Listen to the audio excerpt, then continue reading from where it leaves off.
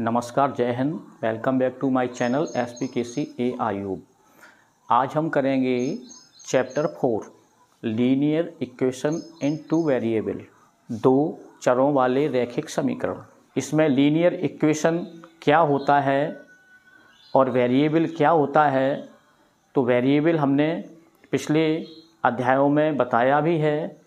तो यहाँ पे हम समझेंगे लीनियर इक्वेशन के बारे में। तो जैसा कि यहाँ परिभाषा बताई गई है तो परिभाषा के अनुसार एक जनरल इक्वेशन होता है, समीकरण होता है तो उसको हम व्यापक समीकरण भी बोल सकते हैं, दो चरों वाला तो उसको हम a x plus b y plus c equal to zero तो ये हमारा एक समीकरण होता है तो समीकरण का मतलब है जिसमें कि दोनों पक्ष समान हो। इसमें दो पक्ष होते हैं, दो साइड्स होती है तो इस साइड को हम कहेंगे राइट हैंड साइड और इस साइड को कहेंगे हम लेफ़्ट हैंड साइड तो ये दायां पक्ष होगा और ये बायां पक्ष होगा।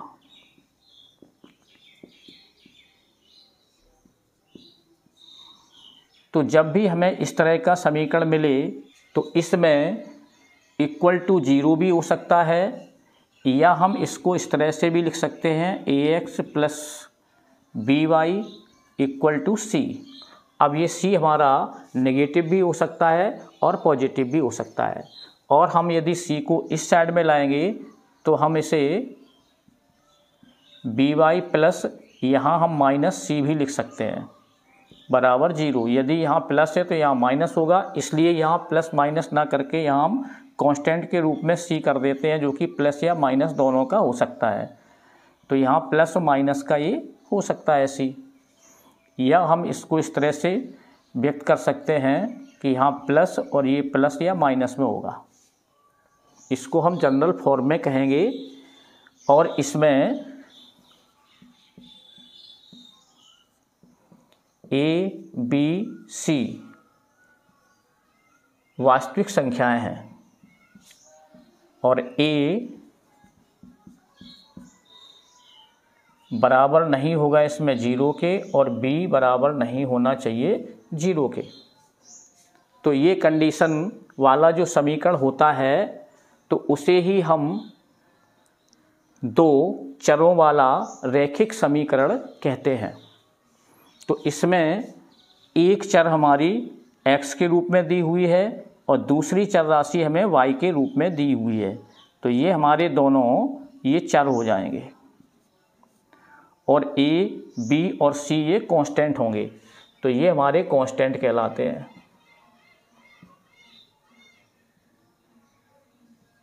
यानी अचर। तो वेरिएबल वे होते हैं जिनकी की वैल्यू वेरी होती रहती है, यानी कि बदलती रहती है। और ए और बी सी ये कांस्टेंट वैल्यू होती है, यानी कि स्थिर होती है और अचर वैल्यू होती है। इसे हम और भी अक्षर के माध्यम से लिख सकते हैं। पी लिख सकते हैं क्यू लिख सकते हैं, कुछ भी लिख सकते हैं जो कांस्टेंट के रूप में होगी। और ये चर के रूप में एक्स वाई लिख सकते हैं। और जो बदलती हो वैल्यू तो उसे हम और भी लेटर से इंगित कर सकते हैं। तो यदि y इक्वल ज़ीरो हो तो जब y के स्थान पे यहाँ ज़ीरो होगा तो ये हमारा समीकरण बनेगा a x plus c equal zero तो इसे हम कहेंगे एक चर वाला समीकरण। तो अब इसे हम ग्राफ के माध्यम से भी समझाएँगे। तो जो बेहतर ढंग से आपको समझ में आएगा। तो ये होती है ओरिजोनटल लाइन और ये होती है वर्टिकल लाइन और ये हमारा एक तल कहलाता है। तो इसमें ये चार क्वाड्रेंट होते हैं, यानी चतुर्थांश होते हैं। तो इसको हम एक्स अक्ष बोलते हैं, इसे एक्स डैश बोलते हैं, इसे वाई और इसे वाई डैश कहते हैं। और ये हमारा मूल बिंदु होता है ओ और जिसके निर्देशांक ज़ीरो ज़ीरो होते हैं, ये हम आपको पहले भी बता चुके हैं। तो यहाँ यदि y अक्ष पर कोई बिंदु यहाँ हम लें और उसकी दूरी मान लो ए है ए बिंदु है तो इसका समीकरण बनेगा तो वो समीकरण हमारा एक्स अक्ष के समांतर होगा। इस तरह से ये लाइन बनेगी यानी रेखा बनेगी। तो यहाँ हम लिख सकते हैं कि जब y बराबर a हो तो यह x अक्ष के समांतर रेखा का समीकरण कहलाता है।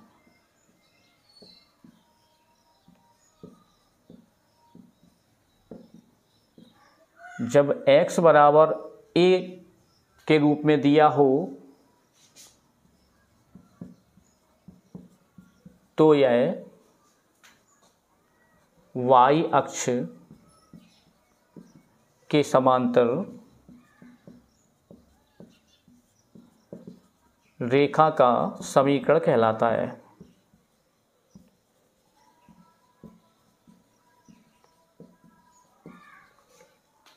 तो जब x बराबर a होगा तो x अक्ष पर हमने बिंदु मान लो ये लिया।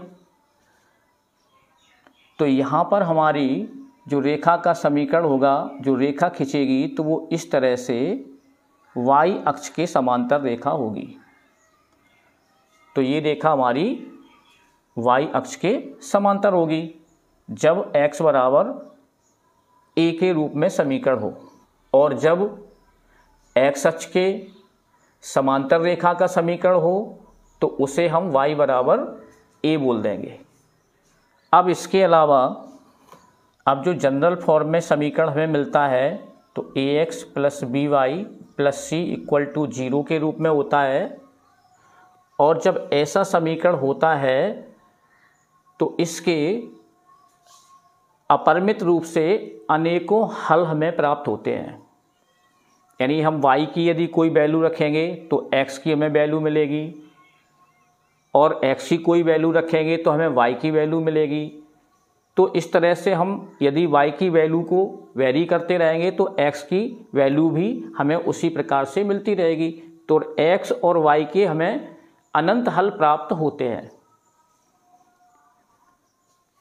और जो इसकी आलेखी रेखा बनती है तो वो एक सीधी रेखा सदैव बनती है, उसको हम सरल रेखा के नाम से भी जान सकते हैं। अब इसमें यदि हम y बराबर यदि ज़ीरो रख दें तो हमारा ये शेष बचेगा a x plus c equal to zero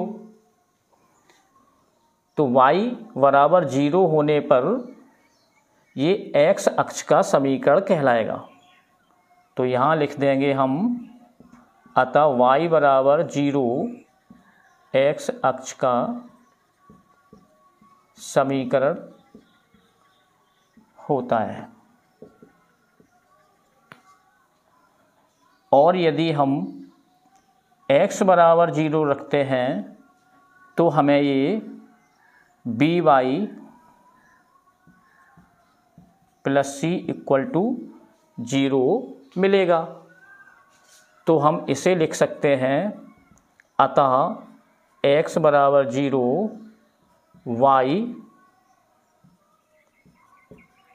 अक्ष का समीकरण कहलाता है। और यदि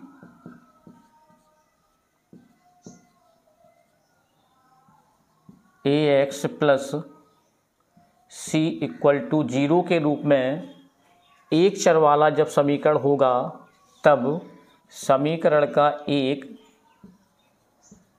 अद्वितीय हल होता है।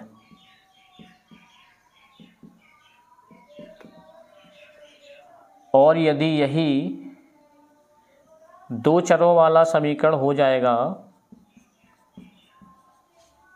तो समीकरण के अपरिमित रूप से अनेक हल होते हैं।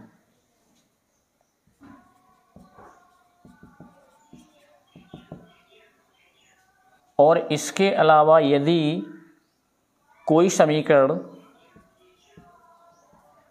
y equal to m x रूप का हो तो समीकरण मूल बिंदु से होकर जाने वाली सरल रेखा को निरूपित करता है।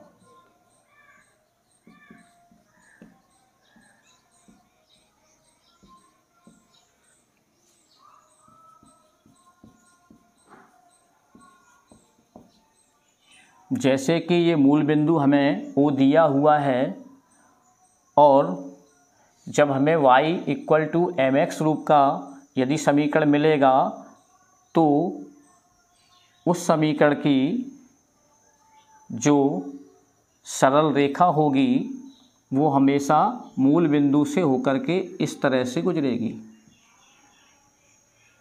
या मान के अनुसार इस तरह से भी हो सकती है। इस तरह से भी हो सकती है। या कहीं से भी गुजरेगी, इधर से गुजरेगी तो भी ये मूल बिंदु से होकर के भी ये सरल रेखा का समीकरण बनेगा। कोई भी जो सरल रेखा है आलेख में, अब इस पे जो बिंदुओं से मिलकर के रेखा जो निरूपित होती है तो जो भी इसमें बिंदु होगा, यानी कि प्रत्येक बिंदु उस रेखा के समीकरण का हल होता है। अब आलेख के अनुसार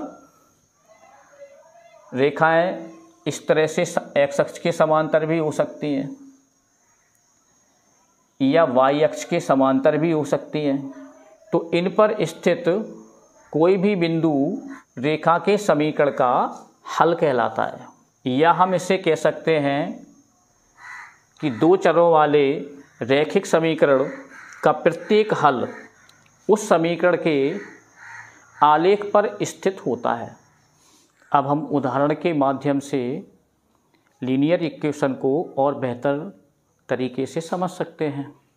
जैसे हमने एक इक्वेशन लिया two x plus y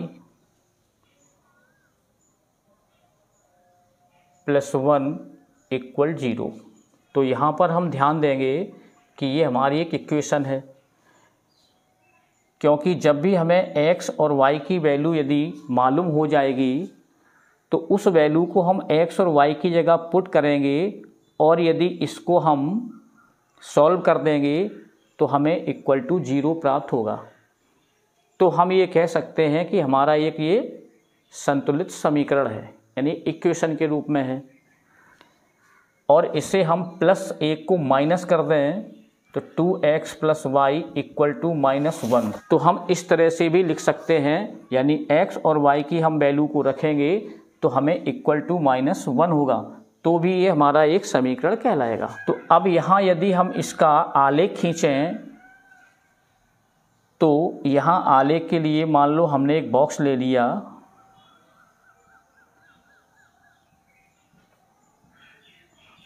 और x और y दो चर लिए। तो यदि हम यहाँ x की वैल्यू मान लो एक रखते हैं तो इनको यदि सॉल्व करेंगे तो two into one plus y equal minus one मिलेगा। तो यहाँ हमें y equal to minus one two one जा टू और ये दूसरी साइड में जाएँगे तो ये माइनस टू हो जाएँगे। तो ये y की वैल्यू हमें माइनस थ्री मिल जाएगी। तो यहाँ हम थ्री लिख सकते हैं। और यदि इसी प्रकार से x की वैल्यू यदि हम माइनस वन रखते हैं तो हमें two into minus one plus y बराबर माइनस वन मिलेगा और इनका मल्टीप्लाई करेंगे माइनस टू होगा y equal to minus one होगा तो y equal to minus one और ये प्लस टू हो जाएगा। तो ये हमें वैल्यू y की मिलेगी प्लस वन तो यहाँ माइनस वन यदि x रखेंगे तो y हमें प्लस वन मिल जाएगा। अब यदि हम x की वैल्यू टू रखते हैं, x इक्वल टू टू लेते हैं तो हमें यहाँ वैल्यू रखेंगे टू तो टू इन टू एक्स के स्थान पे हम टू रखेंगे plus y equal to minus one हो जाएगा। टू टू जब फोर होगा plus y equal to minus one होगा, और y equal to minus one minus four हो जाएगा तो y equal to minus five हो जाएगा। तो यदि हम यहाँ पर टू रखेंगे तो हमें माइनस फाइव मिलता है। अब इस आलेख में हम देखेंगे कि हमारी जो रेखा है, वो किस तरह से इसमें खींची जा सकती है। तो यहाँ हम इनके एक्स और वाई पर एक समान दूरी लेकर के उनके निर्देशांक लिख सकते हैं। तो ये हमारा धनात्मक अक्ष होता है, ये धनात्मक होता है, और ये बाई और ऋणात्मक होता है। और ये नीचे की ओर माइनस होता है। तो one, two, three, four, five, इसी तरह हम समान दूरी पर इधर भी रखेंगे। One, two, three, four, five, इसी तरह से हम यहाँ रखेंगे। और ये वाई डैश अक्ष पर भी हम रख लेते हैं। अब इसके आधार पर हम यहाँ आलेख खींचेंगे तो यहाँ देखेंगे x इक्वल टू वन है। तो वन प्लस है तो यहाँ ये वन होगा। और y equal to minus three है। तो y, यानी कि ऋणात्मक y, ये नीचे मिलेगा हमें तो ये माइनस थ्री मिलेगा। अब इन दोनों दूरियों को हम परस्पर मिलाएँगे तो ये हमें यहाँ मिलेगी। तो ये बिंदु हमारा होगा जहाँ पर हमें x वन होगा और y माइनस थ्री होगा। तो ये निर्देशांक हमारे x और y के निर्देशांक मिल जाएँगे। तो इस तरह से हमें एक बिंदु मिला। मान लो इसे हम ए बोल देते हैं। अब देखेंगे माइनस वन तो माइनस वन हमें ये एक्स वाला इधर मिलेगा और प्लस वन और y equal to plus one है। तो प्लस वन हमें वाई का ये यहाँ मिलेगा। तो इन दोनों दूरियों को हम मिलाएँगे एक्स अक्ष से लंबवत दूरी और वाई अक्ष से लंबवत दूरी को। यहाँ मिलाएँगे तो ये हमें निर्देशांक मिलेंगे इसके माइनस वन और प्लस वन। तो इसे हम बी बिंदु बोल सकते हैं। अब तीसरा जो निर्देशांक मिलेगा हमें, वो two x equal to two है और y equal to minus five है। तो एक्स इक्वल टू टू यानी धनात्मक है तो ये टू होगा और वाई ऋणात्मक है, माइनस फाइव है तो माइनस फाइव ये मिलेगा। तो टू यानी कि एक्स अक्ष से दूरी को हम बढ़ाएँगे आगे और ये वाई अक्ष से दूरी को बढ़ाएँगे तो हमें यहाँ एक्स और वाई के बिंदु मिल जाएँगे। तो यहाँ लिख देंगे हम टू माइनस फाइव। अब इन बिंदुओं को यदि हम मिलाएँ तो ये रेखा हमारी एक बन जाएगी यहाँ से।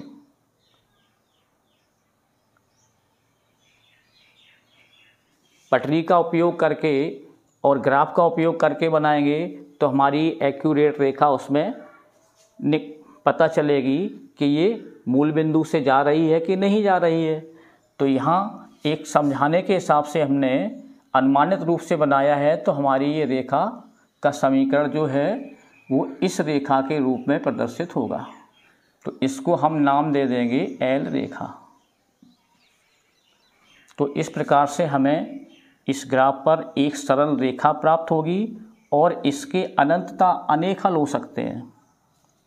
यहाँ हम बढ़ा के जो भी वैल्यू लेते जाएँगे एक्स की तो हमें वाई की वैल्यू प्राप्त होती जाएगी। लेकिन जो भी हल प्राप्त होगा, वो सारे हल हमें इसी रेखा पर ही प्राप्त होंगे। तो ये हुआ हमारा निष्कर्ष रूप में कि जब भी दो चर वाला कोई समीकरण होगा तो उसकी एक सरल रेखा खींची जाएगी और उसके प्रत्येक बिंदु उस रेखा के समीकरण का हल होगा। तो हम कोई भी उदाहरण ले सकते हैं तो रेखा हमारी इधर से भी खींच सकती है, इधर से भी खींच सकती है, इधर से भी खींची जा सकती है। अब यदि हम y बराबर एम एक्स इस रूप का यदि कोई समीकरण लेंगे तो ऐसी रेखा हमेशा मूल बिंदु से होकर ही गुजरेगी। तो जैसे हमने मान लो यहाँ three x plus y equal to zero लिया। तो यहाँ पर हम ये y बराबर माइनस थ्री एक्स हो जाएगा। तो ये हमें इस तरह से प्राप्त हो जाएगा। तो यहाँ m की वैल्यू माइनस थ्री हो जाएगी। तो अब यदि इनको हम ग्राफी रूप में देखेंगे तो इसको भी हम हल करेंगे। X और y लेंगे और इनके हम दो मान ले लेते हैं। तो यदि हम यहाँ x equal to minus one लेते हैं तो y इक्वल टू हमें मिलेंगे थ्री इंटू माइनस वन यानी कि थ्री तो यहाँ थ्री मिल जाएगा। और यदि हम x प्लस वन लेते हैं तो हमें y equal to minus three into one यानी माइनस के थ्री मिलेंगे। ये। तो अब यदि इसे हम इस तल पर आलेखित करेंगे तो हम देखेंगे कि हमारी जो लाइन है, वो मूल बिंदु से ही गुजरेगी। तो यहाँ यदि x माइनस वन लिया हमने ये, x माइनस वन हुआ तो y प्लस थ्री है तो y प्लस थ्री हमारा ये होगा। तो हम इसको एक दूसरे की लंबवत दूरी को मिलाएँगे तो जो हमें यहाँ मिलेगी। तो यहाँ ये बिंदु हो जाएगा हमारा माइनस वन और थ्री। और दूसरा बिंदु जो मिलेगा हमें, x इक्वल टू वन होगा और y equal to minus three होगा। तो y माइनस थ्री तो x equal to plus one यहाँ होगा और y माइनस थ्री होगा तो वो यहाँ होगा। तो ये बिंदु हमें यहाँ मिलेगा। अब यदि इनको हम दोनों को मिलाएँगे तो ये हमारी रेखा ये मूल बिंदु से होकर के इस तरह से निकलेगी। तो इस तरह से ये हमारी रेखा जो खिंचेगी तो वो मूल बिंदु से, ओ से, यहाँ से होकर के ही गुजरती है। तो हम समीकरण को यहाँ लिख सकते हैं। Three x plus y equal zero. यानी कि ये हमारा y equal to minus three x या y equal to m x के रूप का है। तो हमारी जो रेखा है, वो मूल बिंदु से होकर के गुजर रही है। अब यदि हमें x बराबर a या y बराबर a के रूप में कोई समीकरण दिया हो तो उसको हम किस तरह से आलेख पर बनाएँगे? तो यहाँ हम फिर से y अक्ष और x अक्ष लेते हैं। तो यहाँ जैसे हमें कोई समीकरण दिया हो और सिर्फ़ लिखा हो x इक्वल टू थ्री। तो इसको हम किस तरह से इस आलेख में खींचेंगे? तो यहाँ देखेंगे x हमारा धनात्मक है तो धनात्मक यानी इस अक्ष पर हमें ये थ्री मिलेंगे और यहाँ कोई वैल्यू हमें नहीं, y की पता है। तो जो भी रेखा हमारी खींचेगी तो वो रेखा हमारी y अक्ष के समांतर होगी। तो इस तरह से हम ये रेखा खींच देंगे। तो ये y अक्ष के समांतर होगी।